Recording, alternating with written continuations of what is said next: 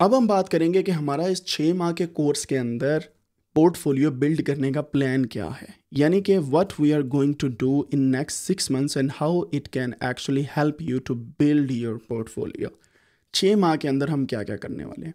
तो इस लेक्चर के अंदर जो प्लान्स मैं आपको बताने वाला हूँ you have to work on that और आपने दिल की अथाह के साथ उस पर काम करना है।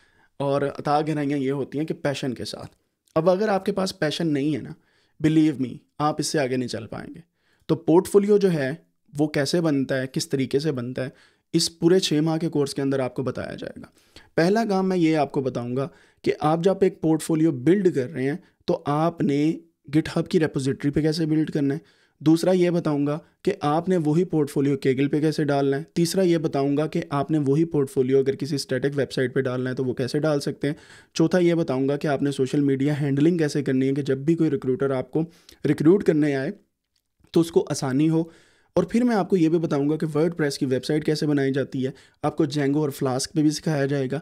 And then we are going to do many things but step by step ऐसा नहीं होगा कि आपका पोर्टफोलियो पहले दिन ही हो गया। बिलीव मी प्रोजेक्ट्स आप मेरे साथ करते जाएँ, आपको कोई एक्स्ट्रा प्रोजेक्ट करने की ज़रूरत नहीं है। छः माह में आपका पोर्टफोलियो बिल्ड हो जाएगा और उस पोर्टफोलियो को आप शोकास कर सकते हैं, कहीं पे भी। शो शो कर सकते हैं नॉट शो शोकास शो बल्कि जो भी है, आप दिखा सकते हैं। और आपको रिक्रूटर जो हैं, फिर वो दूर दूर से देख के आपकी जो पोर्टफोलियो है, आपको कमेंट्स करेंगे और आपको रिक्रूट करने की कोशिश में लग जाएँगे। अब हम जो अगला काम करने वाले हैं I am going to highlight few points जो पोर्टफोलियो के लिए बहुत ज़रूरी हैं। और उस पर हम काम करते हैं। And then we will see कि पोर्टफोलियो को बनाते वक्त हमने किस तरीके से आगे बढ़ना है। ठीक है जी? अब यहाँ पे मैं अगेन आपको कहूँगा कि आप अपने पास जो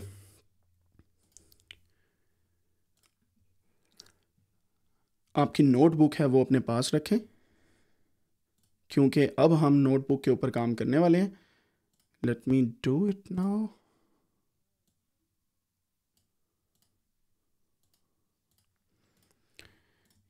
ये मेरी नोटबुक आपके सामने नज़र आ रही है आपको।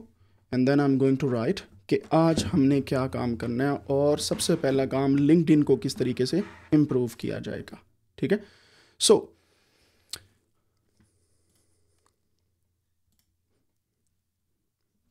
यहाँ पे आपके सामने ये स्क्रीन आपको नज़र आ रही है।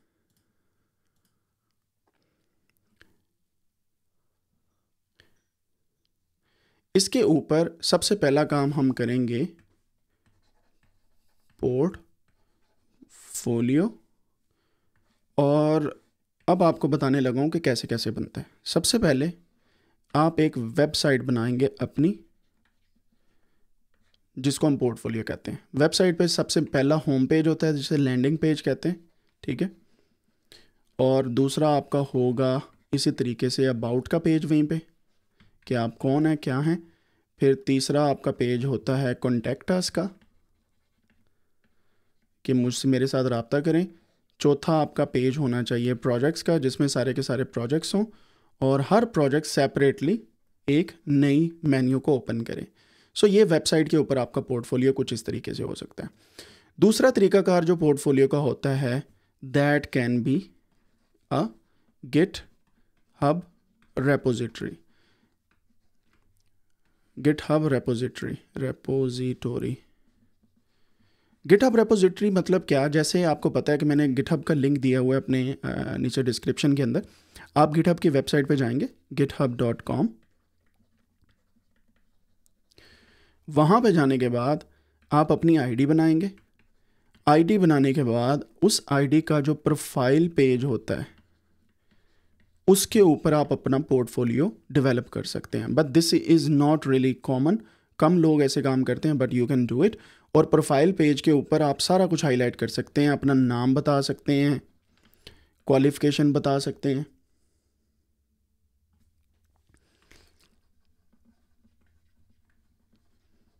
ठीक है? यहीं पे आप बता सकते हैं अपने प्रोजेक्ट्स और हर प्रोजेक्ट को नंबरिंग दे के आप हाईलाइट कर सकते हैं और हर प्रोजेक्ट की सेपरेट रेपोजिटरी होनी चाहिए।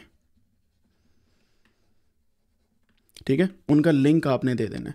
फिर इस तरीके से जब प्रोजेक्ट्स हाईलाइट हो गए तो बाकी जो इंग्रेडिएंट्स मैंने पहले लेक्चर में आपको बताए हैं इससे पहले, वो सारे के सारे इंग्रेडिएंट्स आपने ऐड करने हैं। ठीक है? इससे आपका पोर्टफोलियो बहुत स्ट्रांग हो जाएगा। और जब आप इस तरीके से कोई बनाएँगे अपनी प्रोफ़ाइल तो वो ज़्यादा अच्छी हो जाएगी प्रोफ़ाइल पेज के ऊपर ही रखने से। एक काम आप और कर सकते हैं, आप एक रीड मी फ़ाइल बनाएँ।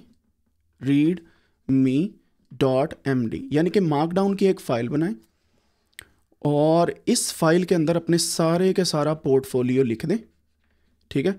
जो जो भी हैं नेम हो गया, जो भी मैंने लैंडिंग पेज जो आपको बताया था, वो सारा लिखने के बाद ये read me read me markdown एक गिटहब की रेपोजिटरी के अंदर अपलोड कर दें।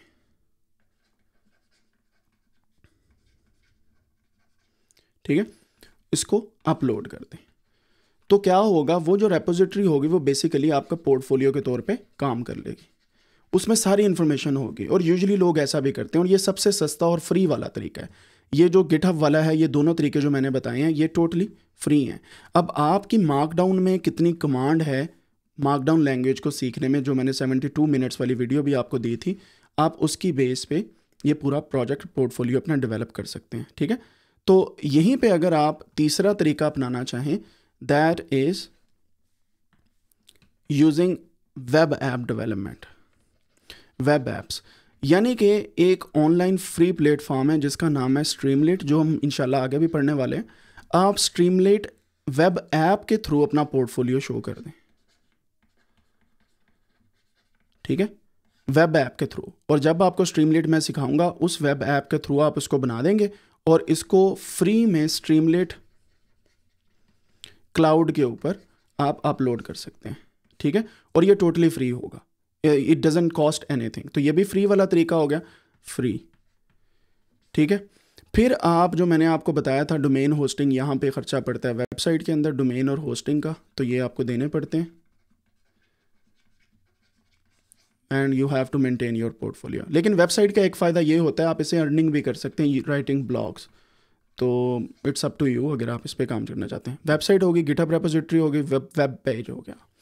एंड देन अक्सर अवकात जो रिक्रूटर्स आजकल काम करते हैं, वो गिटअप पे आप अपनी बना लें पूरा प्रोजेक्ट पोर्टफोलियो बट यूज़